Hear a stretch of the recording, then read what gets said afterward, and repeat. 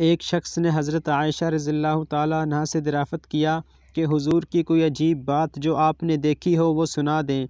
हज़रत आयशा ने फरमाया कि हुजूर की कौन सी बात अजीब ना थी, हर बात ही अजीब थी।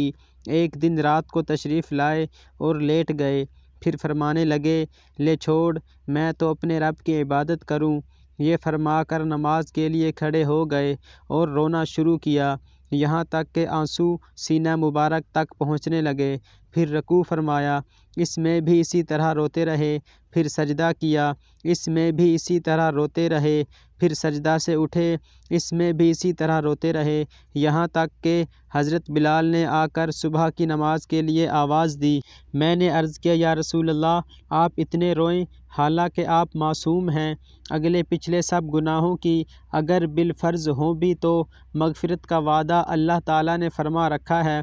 आपने इरशाद फरमाया, फिर मैं शुक्रगुज़ार बंदा ना बनूँ। आप सल्लल्लाहु अलैहि वसल्लम रात को इस कदर लंबी नमाज़ पढ़ा करते थे कि खड़े खड़े पाँव पर वरम आ जाता था। लोगों ने अर्ज़ किया, या रसूल अल्लाह आप इतनी मुशक्क़त क्यों उठाते हैं? हालाँकि आप बख्शे बख्शाए हैं। आपने इरशाद फरमाया कि मैं अपने मालिक का शुक्रगुज़ार बंदा ना बनूँ। हज़रत अब्दुलरहमान बिन औफ़ रज़ील्ला कहते हैं कि मैं एक मरतबा हजूर अलैहि वसल्लम के साथ था। हजूर अलैहि वसल्लम ने मिसवाक फरमाई और वज़ू किया। और नमाज़ की नीयत बाँध ली। मैं भी हुजूर के साथ नमाज़ में शरीक हो गया। हुजूर सल्लल्लाहु अलैहि वसल्लम ने सूरह बकरा एक रकात में पढ़ी और जो आयत रहमत की आती, हुजूर सल्लल्लाहु अलैहि वसल्लम इस जगह देर तक रहमत की दुआ मांगते रहते और जो अजाब की आयत आती, इस जगह देर तक अजाब से पनाह मांगते रहते। सूरत के ख़त्म पर रकू किया और इतना ही लंबा रकू किया जितनी देर में सूरह बकरा पढ़ी जाती है। और फिर इतना ही लंबा सजदा किया। फिर दूसरी रकात में इसी तरह सूरह आल इमरान पढ़ी और इसी तरह एक एक रकात में एक एक सूरत पढ़ते रहे। इस तरह चार रकतों में सवा छः पारे होते हैं। ये कितनी लंबी नमाज़ हुई होगी, जिसमें हर आयत रहमत और आयत अजाब पर देर तक दुआ का मांगना और फिर इतना ही लंबा रकू और सजदा करना था। हज़रत हुजाफ़ा रज़ील्ला भी अपना एक किस्सा हजूर अलैहि वसल्लम के साथ नमाज़ पढ़ने का इसी तरह नकल फरमाते हैं।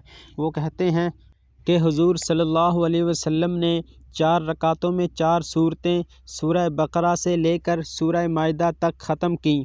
इन चार सूरतों के सवा छः पारे होते हैं जो हुजूर सल्लल्लाहु अलैहि वसल्लम ने चार रकातों में पढ़े और हुजूर अकरम सल्लल्लाहु अलैहि वसल्लम की आदत शरीफ़ा तजवीद और तरतील के साथ पढ़ने की थी, जैसा कि अक्सर हदीस में है।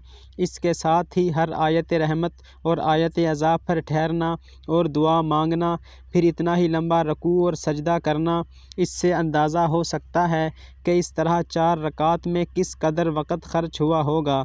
बाज़ मरतबा हजूर अक़दस सल्ला वसम ने एक रकात में सूरह बकरा, आल इमरान और सूरह मायदा तीन सूरतें पढ़ी, जो तकरीबन पाँच पारे होते हैं। ये जब ही हो सकता है, जब नमाज़ में चैन और आँखों की ठंडक नसीब हो जाए। नबी अकरम सल्लल्लाहु अलैहि वसल्लम का पाक इरशाद है कि मेरी आँखों की ठंडक नमाज़ में है। दुआ है कि अल्लाह ताला हमें भी पंजगाना नमाज़ की तोफ़ी अता फ़रमाए।